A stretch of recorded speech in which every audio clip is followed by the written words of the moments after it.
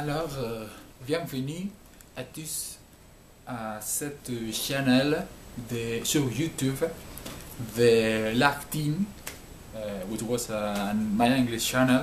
But I want to uh, convert this into a multilingual uh, channel in order to practice not, only my English, uh, mais encore aussi le, euh, mon français.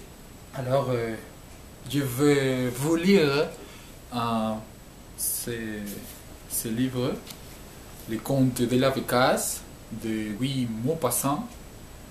Et un de ces contes a le titre de Chez cochon de Morin. Alors il dit comme ça.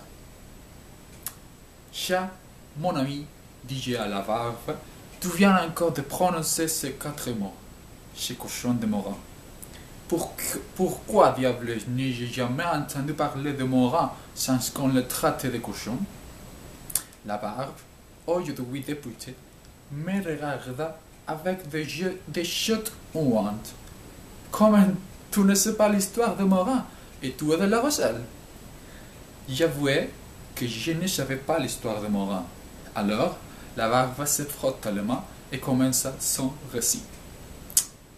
Tu as connu Morin, n'est-ce pas? Et tu te rappelles son grand magasin de mercerie sur le quai de la Rochelle? Oui, parfaitement. Eh bien, sache qu'en 1862 ou 63, Morin alla pas- passer 15 jours à Paris pour son plaisir, ou ses plaisirs, mais sous prétexte de renouveler ses approvisionnements. Tu sais ce que sont pour un commerçant de province 15 jours de Paris. Cela vous met le feu dans le sang. Tous les soirs, des spectacles, des frôlements de femmes, une continuelle excitation d'esprit. On devient fou. On, ne voit plus que des danseuses minutes, actrices décolletées, jambes rondes, épaules racées, tout cela presque à portée de la main, sans qu'on ose ou qu'on puisse y toucher. C'est à peine si on goûte une fois ou deux à quelques mètres inférieurs. Et l'on en va, le cœur encore tout secoué, l'âme émoustillée, avec une espèce de méga question de vestiaire qui vous chat- chatouillant les lèvres. Morin se trouvait dans cet état quand il prit son billet pour La Rochelle par l'espèce de 8h40 du soir. Et il se promenait plein de regrets et de troubles dans les grandes salles communes des chemins de fer d'Orléans, quand il s'arrêta né devant une jeune femme qui embrassait une vieille dame. Elle avait révélé sa voilette, et Morin rêvait, murmura, vivre la belle personne. Quand elle eut fait se séduire la vieille, elle entra dans la salle d'attente, et Morin la suivit. Puis, elle passa sur le camp, et Morin la suivit encore. Puis, il monta dans un wagon vide, et Morin la suivit toujours. Il y avait un peu de voyageurs pour l'express. La, locomotive siffla, les tours, le train partit. Il s'éteint seul. Morin la dévorait des yeux. Elle semblait avoir 19 ou 20 à 20 ans. Elle était blonde, grande, d'ailleurs hardie.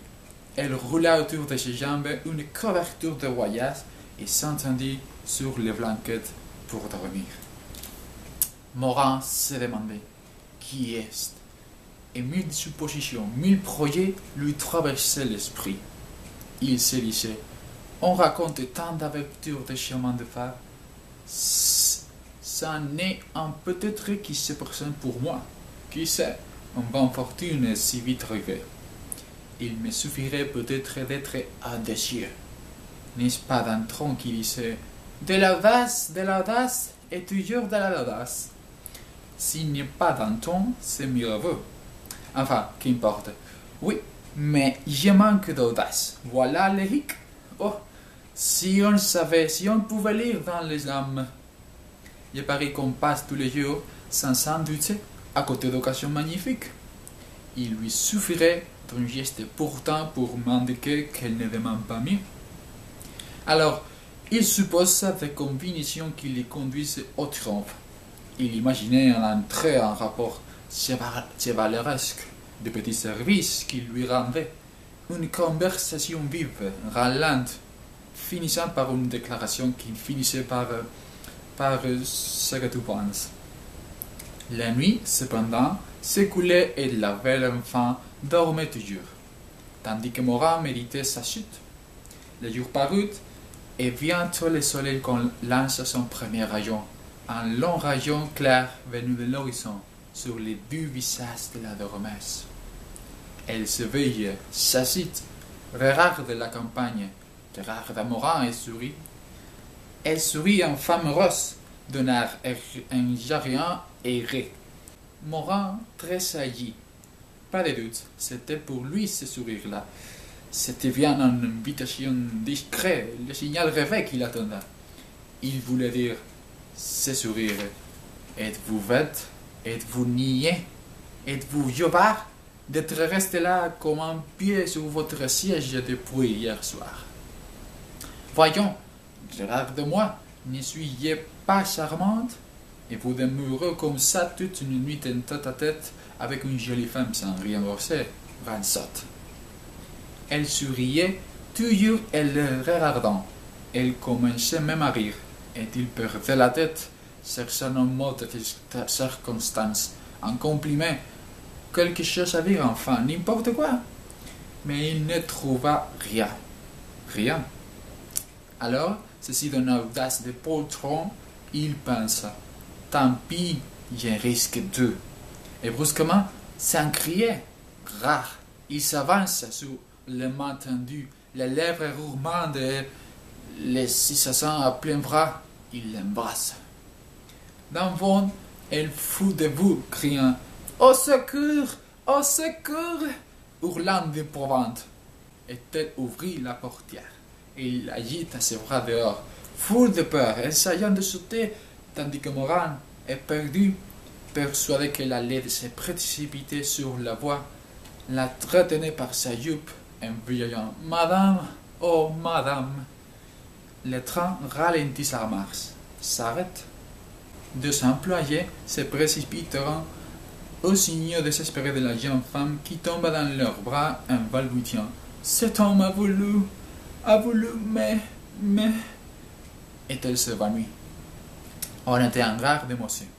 Le gendarme présent arrête Morin. Quand la victime de sa brutalité eut repris connaissance, elle fit sa déclaration. L'autorité verbalise. Et le, pauvre, et le pauvre Merced ne pourrait regagner son domicile que le soir, sous les coups d'un poursuite judiciaire pour outrage au mœurs dans un lieu public. Et alors, euh, j'espère que mon ma prononciation n'était pas euh, autant mauvaise, mais euh, je suis un étudiant le français encore, alors euh, j'espère que vous l'aimeriez et on se verra dans un prochain vidéo. Salut